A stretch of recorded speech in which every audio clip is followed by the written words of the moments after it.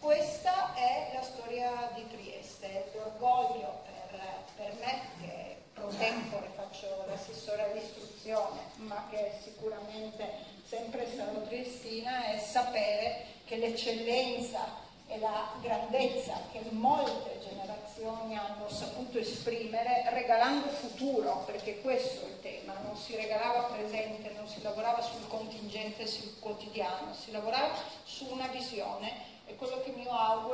dal nautico, come sempre poi è stato, si riesca a trasmettere a tutto il resto del nostro tessuto formativo, di istruzione, di alta formazione all'interno del mondo del lavoro che credo da questo bacino abbia attinto le sue menti migliori. Per cui grazie.